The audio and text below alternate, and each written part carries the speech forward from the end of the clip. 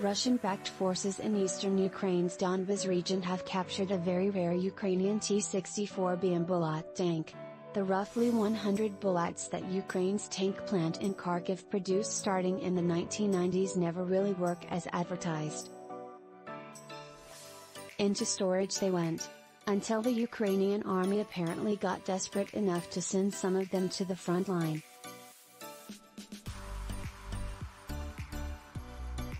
The Ukrainians seem to have reached that point before late April, as mounting losses of armored vehicles strained the growing roster of Ukrainian brigades. The T-64BM is an oddity. Kyiv's two active tank brigades and 11 other active heavy brigades generally use T-64 BVS, while reserve brigades mostly have T-72s.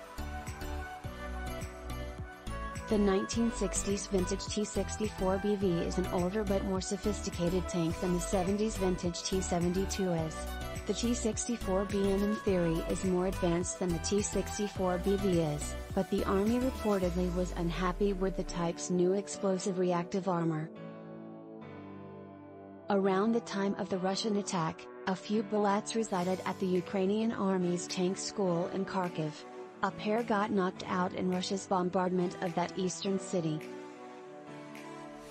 The other T-64 BMS apparently were in a warehouse or vehicle park somewhere until the army reactivated at least a few of them.